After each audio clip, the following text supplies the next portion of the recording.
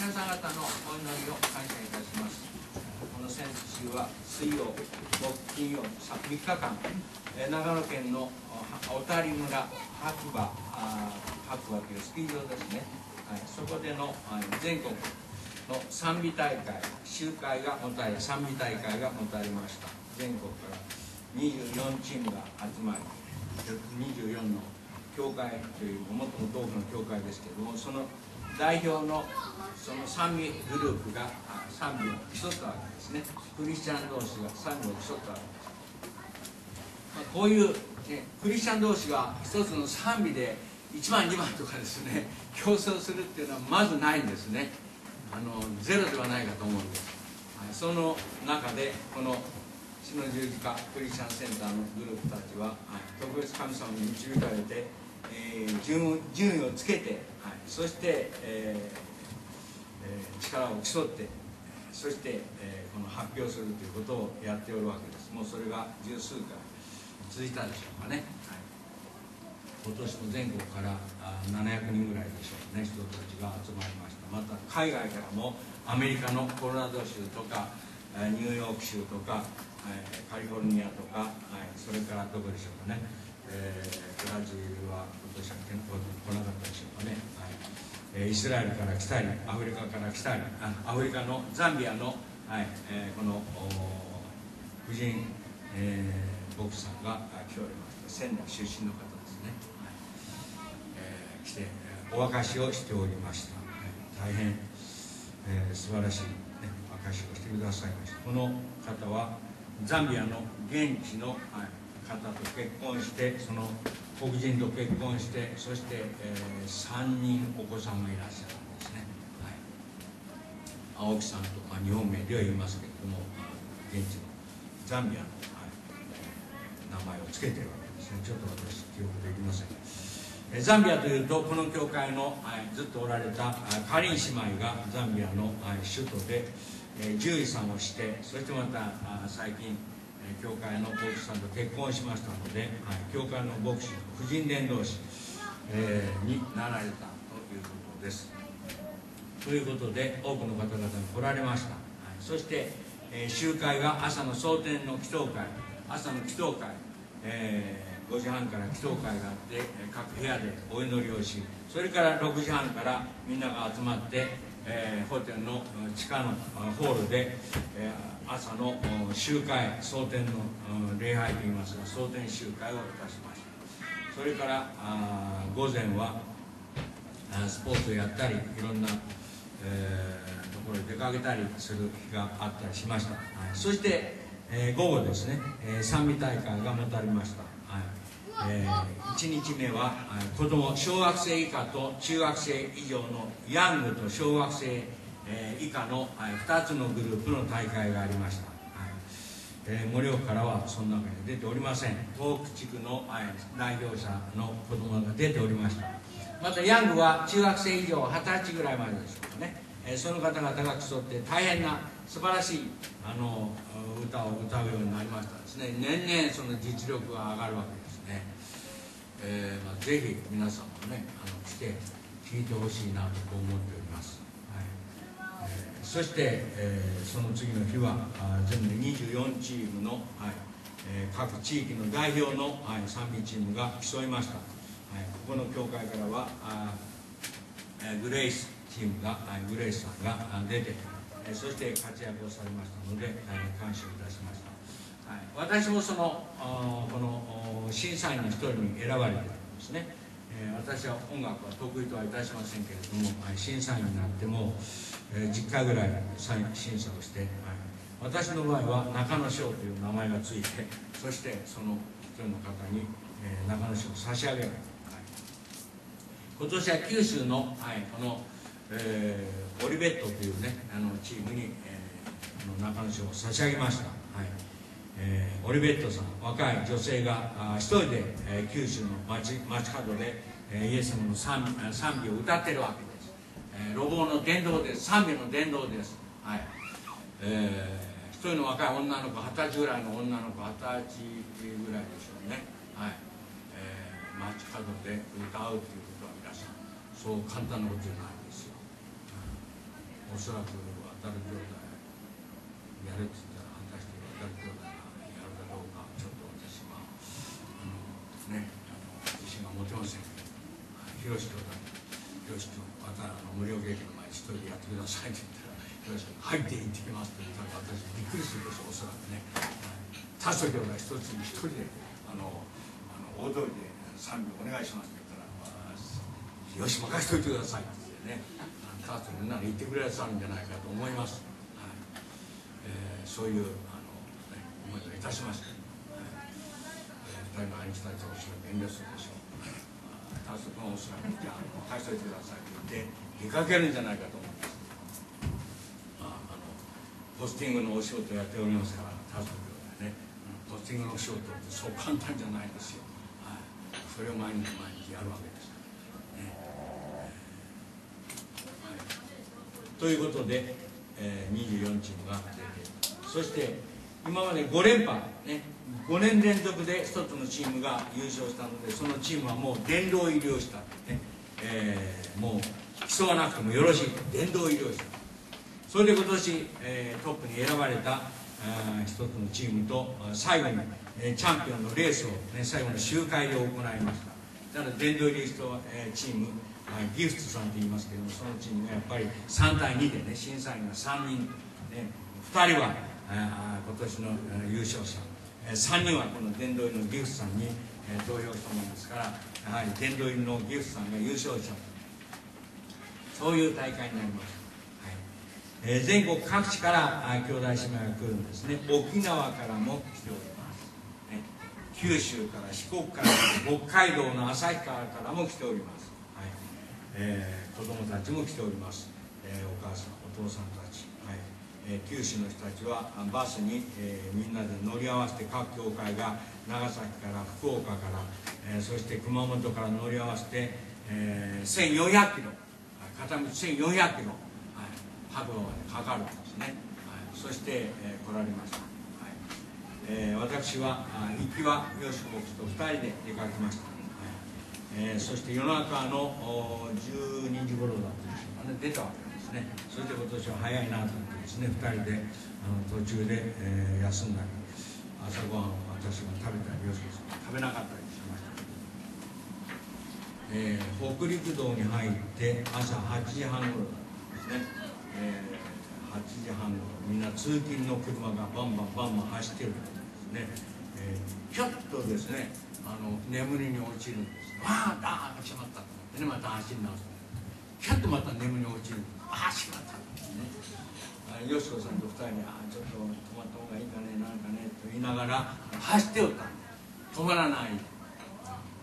最近の私の考え方ね70過ぎてからというか最近の私の考え方ねこうしなくちゃいけないなと思った時にすぐ実行する、ね。えー、代表的なのは3階のこの台所で働いてね、味噌汁、ね、味噌汁。昨日作った、ね、味噌汁。それが夏のあれ腐っちゃうとまずいから火を入れるわけでしょ。ガスを入れるわけですよ、はい、そしてあの机座ってでしょ新聞かなんか読んだりちょっとテレビ見たり、ね、何かしてるわけでしょ、うん、でもあのガスの音ってそんなにガーッてガーッとですねバチバチ言うわけでもないしね。静かな。それなんとかなる匂いがしてくる。あれ？焦げ臭いな。あーってしまったってね、うん。だからねその味噌汁温めるのもねそのすぐ目の前に座っていないとね大変なことが起きやすいんです、うん、ですから私はね最近気づいた出来事はねすぐ実行するように。全てそれってやってるわけじゃないんですけどねできるだけ早くそれをねやるようにして、うん、即即即断即決ってやってですね。即断即決やってる、うん、ところがこの運転の場合ね即断即決をしなかった。車の運転はっと見えてガーッと。ガーッとよしこさんと一緒に乗っててね、まあ、今いないから言うわけでもないですけどね。あのあーということが何回かあったんですよ。彼女も何回かね花輪君途中でね冬ねガガガガッとカリンさん乗った時ねそういうことがあったリンダさんと一緒に乗ってたもう一回またカリンさんもう一回あった横横から出てきた車にガーンとぶつかってそれでカリンさんとヨシコさんが入院したこともあっただけど今度は私が運転してガーッとね左側にね壁にこすった。あーっとびっくりしてねハンドを切って右側に行った。右側の今度壁にねあの中央のね分離帯っていうの。そこにねそこにはぶつからなかったのか、ぶつからなかったけど今度はああまずいと思ってねこれ左にグーッとハンドを切ったそしてまた左側の、えー、そこに今度ぶつからなかったけど、ね。うん、どうも左側をこの走るようにしばらく止めたのおっかなくても車外に出て、見ることできないよしこバーンって、ね、上から飛んじゃったとかってねそうしてねそれが長岡だったんですよ新潟県の長岡なの原発の長岡なのですからね少しは走れた車走れた、うん、坂本兄弟が本当に一緒になった時「ああ先生私と同じですね」とか言われちゃってね。彼は冬ねあの仙台途中帰るの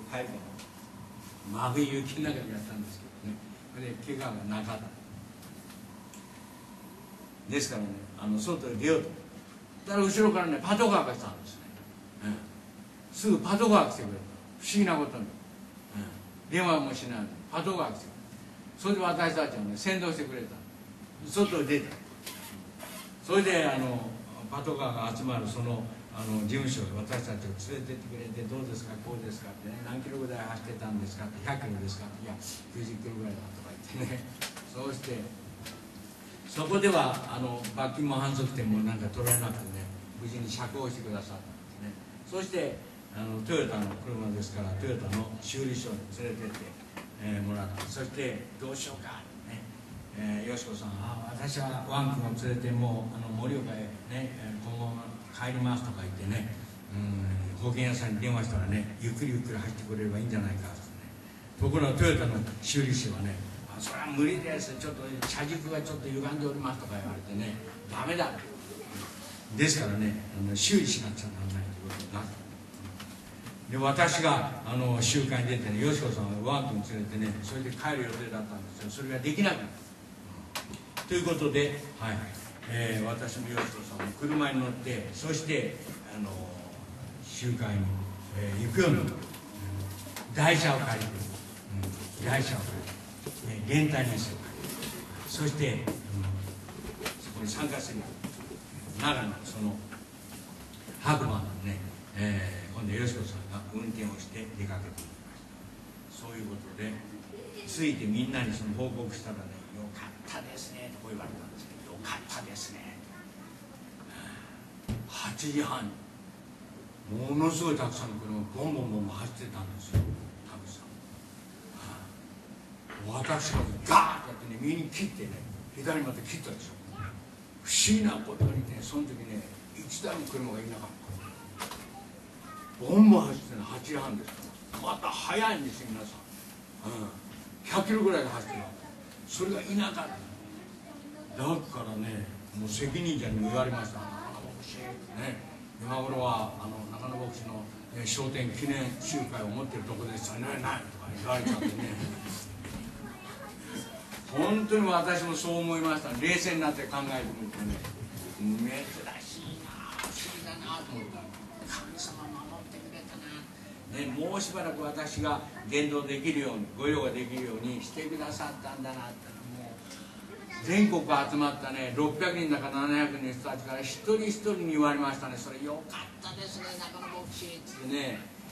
私の方にあったの車がすり減っちゃってね。レンタカー屋さん借りるでしょ。修理しなくちゃなんないでしょ一体それがいくらかかるかっていうことが頭の中にいっぱいだったんですね。だから自分が助かったということがどれほど大きなことかっていうのはあんまりねこの間ね車のことばっかり心配して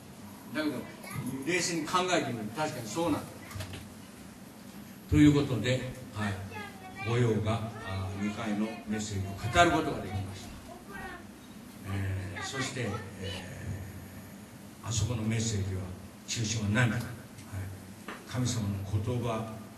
に生きるっていうことがメッセージ。神の言葉の中にしか希望はないよというのがメッセージ、今からの世界の、はい、今すでに始まっておりますけども終末聖書が教えているこの世の終わりの、はい、観難時代に向かっての出来事。イエス様の再臨がその後に続いておりますけどそこにまっしぐらに近づいておりますと、その中で私たちが、ね、自分の過去の経験や、ね、あるいは自分の事業産業や、ねはい、自分の能力や若さや、はい、その社会的な地位に信頼しておるならば、はい、失望してしまいますよ滅んでいってしまいますよ、神様の言葉に立ちね、言葉の中からこそ真の神の技が起こり、ね、希望が与えられますよということを、ね、入れ替わり立ち替わりで牧師たちが信者さんたちがあるいは外国から来た、ね、宣教師さんたちが証しをし報告をしてくださいました。アメリカのまた韓国の教会の、はいえー、ハン牧師さんも、はいえー、今年も参加してくださいました。ハン牧師はもう5代目のクリスチャン。5代目の5代目のクリスチャンで反牧師の先祖からねの牧師さんたちが作った教会は8000になる8000ったら日本の今の教会7000ぐらいしかないですから日本の教会以上のハンさんの家族の5代で、ね、8000の教会作っちゃった。その5代目の女性信者さん女性の牧師さんその方がメッセージを語っておられました。はい、ということで全国各地から、ね、皆さんが集まりました、はい、子どもたちも集まりました、ね、賛美大会に出るということも大きなことなんですけれども、はい、そこで、はいえー、未信者の方も参加されましたので中野牧師あなたは伝統的な、ね、救いの救いとともに励ましのメッセージを語ってくださいないということで、ね、私に、ね、求められましたので私は2つのメッセージを語りました。一つはヘブル書の9章の27節。人をひとたび死ぬることと死ぬ神天の地神の裁きがありますよと。それと同じようにイエス・キリストは天からただ一度だけ来られて十字架にかかりよみがえり世の終わりにもうひとたびこの地上に帰ってきますよというこのヘブル書の9章27節の御言葉をこのお話をいたしました、2回目のメッセージはヨハネ伝6章の27節。はい。ね、滅びに至る、ね、食べ物のためではなくて永遠の命に至る食物のために働きなさいよというこの御言葉を語らせていただきました、はい、そして、はい、自分が成しておるこの御用、はい、神様の御言葉に私も立ちました、はい、そして今、ねえー、この教会をいろんなところに建てたり、ね、外国に宣教したりというそういう教会になりました。そしてまた、ね、家内を天に送りました。再び、ね、天から帰ってくるそのために、ね、墓を墓に葬りましたというようなこのメッセージを語らせていただきました、はい、初めての未信者の方々がいたわけです、そしてまた集会の後には癒しを求める人たちが前に出てきたりして、ね、癒しのためにお祈りをしてもらいました、はい、私も責任長老の方々にこの前立腺の使用39回の放射線治療が、ね、終わったのでそれが完全に癒されるようにね、えー、お祈りをしてもらいました。それで昨日の夜おとといの渡君と一緒に帰り道車に乗って帰ってきたんです。夜、まあ、田口さんほどではないですけどね。田口兄弟ほどじゃないですけど。トイレっていう数が少なくなったなっていうのをちょっとね感じた。まあそんなに変わったわけじゃないんですけどトイレに行かなくなったなっていうのねあの思いを持ちましたけどね。ああの3人の僕たちの祈り聞かれたのかしらと思ってねおりますけどね、はい、ということで癒しをね求める人っていうのはすごい多いんですよ。白馬の賛美大会出てね奇跡的な癒しを経験する人が多いんですよ。だからおそらくね今年もねそういうのは、新聞にこれから三越新聞に出る。三越新聞のね責任者私のところに女性がやってきて中野先生、ね、中野牧師、ね、あなたのその事故の、ね、そのニュースを、ね、すいませんが書いていただけますかって言うんですいやいやいや事故のニュース。写真撮りますパチンなんですまあそれもあの励ましになる。今年はどうやったね。私だけじゃなかった。一人の中学の女の子もね事故に遭った。ね一つの賛美チームがねその楽器の道具を持ってきた。スピーカーを持ってきた、うん、それでそれを立てた。でスピーカーから出る線があるでしょ。電線があるでしょ、うん、コードがあるでしょ、その女の子はねなんかコードを踏んだかどうかしたそしたらこの立ってるスピーカーが倒れたその中学生の女の子の足にこう倒れた、だからねまあ負傷したわけですね女の子が、うん、ですから今年のねあの大会は何か負傷が多いねって去年も実はあったんですけどね今年の、ね、事故は中野牧師はじめ多いねって言ってね向こうの責任者の牧師たちがみんな話し合ったらしい、そんなことはありましたけれどもいずれ、はい。えー、御子新聞が来ましたら皆さんにも、ね、見せることは八百坂ではありませんけど、はい、迷惑しようしようということでね、はい、ということでたくさんの人がねこの癒しを求めてくる救いを求めてくる。はい。それでまた僕たちも励まされて帰っていってまた、ね、一生懸命伝道するようになるわけです。それが外国からも来るわけです、ね、よそのグループからも来るわけです。全国各地から北海道から九州から沖縄から外国からその3日間4日間の集会に来て、ね、山の中で集会をするっていうまずグループは全国的に見てちょっといないだろうなと。国内から集まるっていうのはいますけども外国からも来てやる。沖縄からも飛行機でやってきます。沖縄の人たちは最後の集会出れないでねね審査の発表を聞かないで、ね、1400キロ、ね、賛美大会終わってすぐ渡る君たちと同じようにですね書いていきますそうなんですということで、はい、神様の言葉を、はい、捉えることによって、技が起こる。ですからその信仰に立つそれでお祈りしてもらう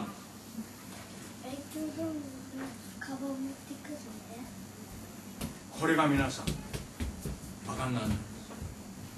ここの英語レアにいたブルース兄弟も参加したんです千葉の、ね、千葉の古島牧師の教会の、ね、一員として参加したんですブルース兄弟そして朝のね蒼天から何からね彼もね出たらしいんですで何かねよしこにメールを送ってきた、一日のスケジュール朝の蒼天が早すぎるそれにしてもね素晴らしい集会があったってねあの喜んで、えー、昨日の、はい、大会すぐ後ねあのヒロシ君たちと同じように書いていきましたけどね彼もすごくね喜んで。来年ニューヨークに帰るっていう考えがあるようです。まだ決まっておりませんニューヨークの牧師さんも一人。渡辺直子さんという人が浅野さんと結婚してニューヨークの、ね、牧師の奥さん、はい、通訳者ニューヨークの教会、ね、そこへブルース教であなたも行ってくださいと私ね伝えておきましたはい分かりましたニューヨークには、ね、ブルース教でのお母さんが去年牧師になったニューヨークの教会の牧師になった、うんですから彼はお母さんの教会にも行くでしょうけども、はい、主の十字架のニューヨーク教会の、はい、浅野牧師のその集会に出て、ね、奉仕をするんじゃないかと思います今は、はい。えー、この千葉県の千葉市の、うん、教会の一員なんこの教会も不思議なことにねその牧師がね四国の人なんですその牧師はね非常に変わった牧師なんですこの九州で開拓伝道し中央地方で開拓伝道しそして今月の、はい、みこえー、雲の虹の、はい、関東源に出ております。吉田恵子氏が読まれてます、ね、漆島牧師の関東源のあの、ね、記事を、ね、来島牧師あなた、ね、九州の福岡に行ってくれますか？はい。2年経ちました。漆島牧師あなた広島の教会に行って開拓に行ってくれますか？はい、ね、そして漆島牧師ね今度はいつもいつも漆島牧師にそういう声があるわけじゃない他の牧師にも声がかかる他の牧師たちはあの神様に導かれていませんとかね、ちょっと無理ですとかね、いろんなことを言って断らしい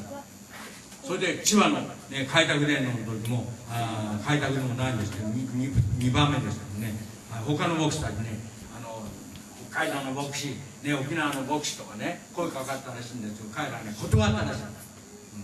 ただ誰かがねの漆島牧師に声をかければ彼は嫌とは言わない人ですとか言ってね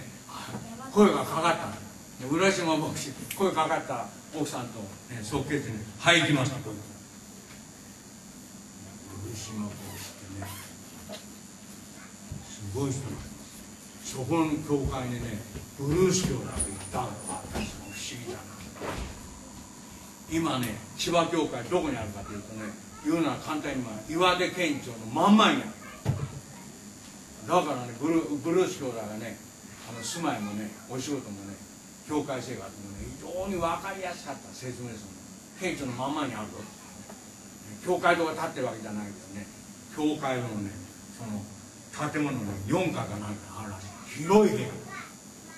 またその時日曜日だからね使うのは、うん、たくさんの部屋が使えるらしいの、だけどその部屋はね借りるのにね最初はね値段がね14万円。1ヶ月14万円。不動産屋って聞いたのに14万円。なかなか借り手がいないわ。で漆も僕したんでねそれをね頼んだらしいんですけどね。10万円。ああ10万円じゃ無理ですってね。あのうちはもう、えー、5万円ぐらいじゃない。とダメですとか言ってね言ったらそしたらその不動産屋さんはねあの大家さんにね連絡したらしいんです。大家さんの女性にね。大家さんの女性に「貸します」って言うから14万円のところ5万円で貸しますそしてそこに嬉しい僕たち入って長崎の教会の牧師さんもそこにあの来てる、ね、若い青年がブルース教団のお友達になって木原教ということでね漆島大師はね東京に来てこの千葉の教会でもねいろんな人たちをね彼は伝道してる神様の、ね、元に彼はね即断即決する。神の言葉に、まあ、皆さんに生きているんですけど、その言葉が成就して昨日もね最後の集会ね漆島大師がね説教したんですね。朝の蒼天礼拝で説教した。それで証しをします。今日は私の話じゃなくて私の妻の証しをします。最近教会に一人の男性がね職を失った男性が急増してきております。その人がイエスも信じました。それで急増してきたんで信じたらいいんですけれども、ね、仕事がありませんで仕事を探しているんです。でついこの間職場に行って面接をしました面接をしましたけれども、はい、面接の条件の中で、はい、この漆島牧師の奥さんに、ね、言われたらしいんです、ね、日曜日は休みなさいね。日曜日は休める、ね、職は選びなさいよ。とだからその兄弟もね受かりそうになったんですけど、ね、最後にね日曜日は休ませてもらなりませんということを言ったらねダメになっちゃうダメになっちゃう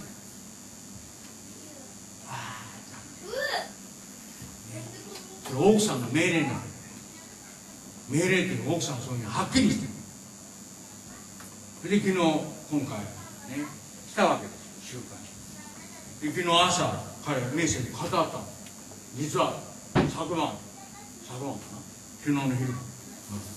私もね吉本僕ですねダーンとムチ打ちになっちゃったななっちゃったかなとね上島牧師夫婦はねマッサージをする人。奥さんマッサージ。旦那さんもなんかこうやるんですカイロプラクティックなんかやるんですだからよしこさんと私にやってもらった。その話は出なかった、うん、弓道師の話。で職場ダメだって話で、ね、そうした。電話が来たって採用します断られて一回断られたその話は採用します。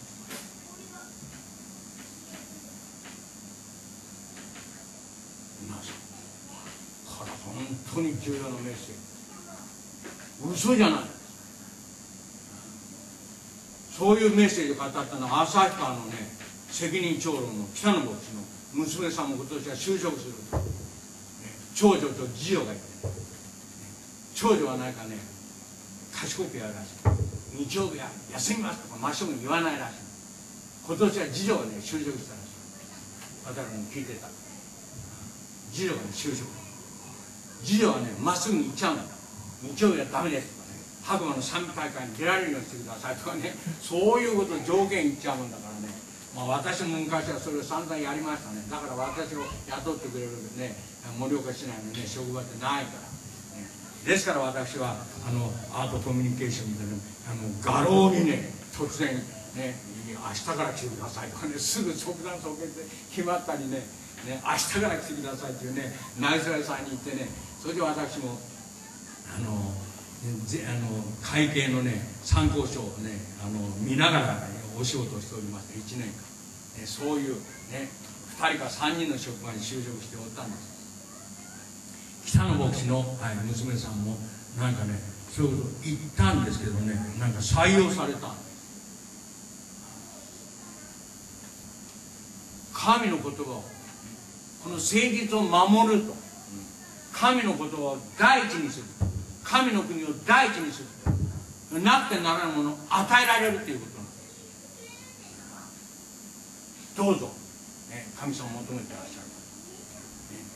神の技を求めてらっしゃる。神の言葉を第一に選ぶ時には神は栄光を表すの